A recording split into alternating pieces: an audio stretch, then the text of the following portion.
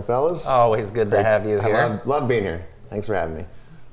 Uh, the board this week met and decided to choose someone for a new principal of the junior senior high school. Yeah, we are excited. Uh, Zach Canan, so he's officially under contract um, with Napoleon Schools right now as the Atkinson Lake principal, but it's the worst kept secret in Jackson Yeah. County. Um, and it's not supposed to be a secret. We've, we've been very transparent with it on both sides. Uh, Jim Graham at Napoleon's been great to work with. But I, I kind of explained this at our board meeting a couple nights ago where it's there are a lot of principal jobs out there and you just don't know what you're going to get for applicants. And in comes Zach, who has educational charisma and he has um, the, the culture fit, and there were just he checked every single box. So we are thrilled. How important is culture fit when you're bringing people in? Because you know you've worked so hard on culture at Michigan Center. I would say, and this is um, kind of indicative of what we're doing at Michigan Center and have been for a long time. Culture and relationships are number one. We can teach anything else. Um, we can figure everything else out, but we can't make you fit. Yeah. And when you have that, it is priceless. So that's what we uh, make sure our teachers, and that's what makes the staff at Michigan Center so great, um, is they understand and value that. Nice. Did you go to the prom this year? I did, yeah, I did. It was Yeah. awesome. We did uh, Cascades Manor House this year. That was a new venue for us. Um, there was a French fry bar.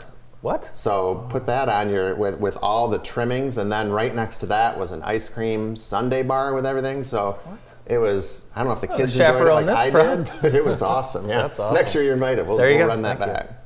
Yeah. It was an awesome venue. Thank you, Cascades Manor House. It was awesome. It's great for the kids to be off campus for proms too. I always think that's so important. You know, it's great for us, too. Cool. Yeah, of course. yeah, get them out of here.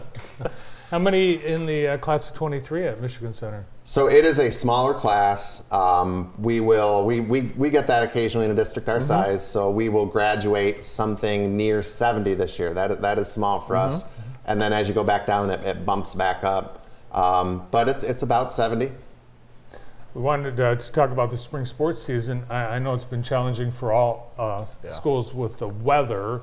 A lot of catching up this week, but you've got uh, some great success with spring sports. The soccer team doing really well. Yeah, the, our our soccer coach Ray Scaife, and actually Sarah Scaife takes a lot of the pictures, right? Yeah. and does an incredible job um, working for JTV. But he he does such a good job Great leading that soccer program. Softball, man, softball and baseball, the the schedule has definitely been brutal, and it's hard to get in a rhythm. But a lot of hardworking kids, and and they're out there grinding. It's crazy. It seems like we're just now getting to the point where you don't, where you know the games are going to be played. Uh, have you know? Do you think the weather is shifting? I mean, spring sports. uh, Spring's gotten worse. It, well, it's Not a global warming this is not a conversation, political but, I but it sure hasn't felt like global warming this spring. Um, definitely the the early April stuff is always nasty. We Yeah. always count on that early in the season.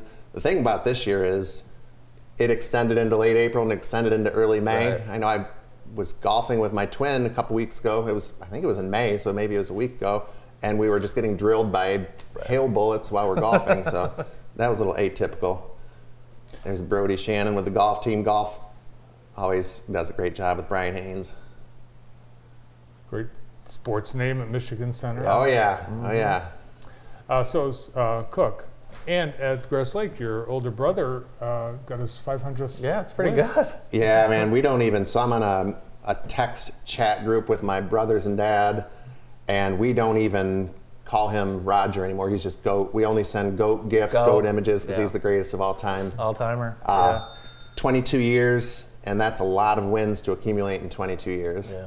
So he's done an incredible job. You really have to love what you're doing to uh, to to coach that long, and um, really to have the success he ha- has. You really got to love it. Yep, and I, I mentioned this on a Facebook post. I came out of Facebook retirement to say something about him. Yeah, welcome back. Yeah, thank you. My, my once every two year post.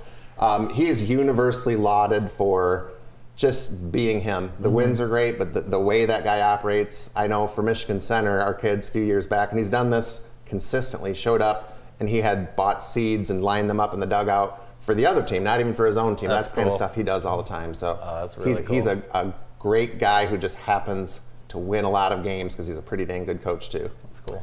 the uh, Keicher Elementary students are going to be on the big stage of Oh, yeah. the Michigan Theater this Saturday. Yeah, the Aristocats, baby, it's it's coming. So um, it's a, we have a, a Disney musical program. They put in a ton of work. The kids, the staff that are involved, and it's always fun to watch. So, Do you guys have hope to see anything uh, anything on the August ballot uh, that, that we need to be aware of? That is a great leading question, and yes, we do. So we're in the early stages. We just got our approval from the state of Michigan, and then we acted on it formally at Monday night's board meeting.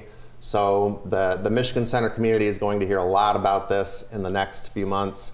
And ultimately, what it is, um, it's kind of a two-part project. So the part one, we committed every bit of federal funding that we could toward it, and these are air quality projects.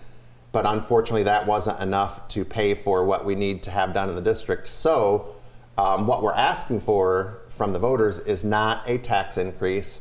We were very fortunate with uh, rising property values over time that we were, to put it simply, kind of able to refinance the bond so um, it wouldn't impact taxpayers at all until the 2016 30 year bond runs out and then it extends it, which we're able to potentially recoup $6.3 million in what will ultimately be only at this point, and it fluctuates over time, but a six year extension, which is awesome for us. And the, the project itself is the least glamorous project of all time. It's bringing fresh air in. It's giving us the ability to control temperatures. Mm-hmm. It's converting to hot water where we can. And the bottom line is we have some outdated infrastructure, just being 1940s, 50s buildings. This will keep us current. And in the long term, will save taxpayers a lot of money because if we don't do these kinds of things, a few years down the road, we're asking for a lot more money to rebuild buildings. So you'll you'll hear a lot about that. Thank you for asking. Yeah. Coming to the August ballot. Yes. Well, we wish uh, you and your whole team the best as school winds up for the year, and uh, congratulations to the Cardinals cla- class of 23. Thank you. Keep up the excellent work. Yeah, we'll see you soon. All right, thanks, guys. Superintendent Brady Cook, Michigan Center Schools. More of the morning show after this.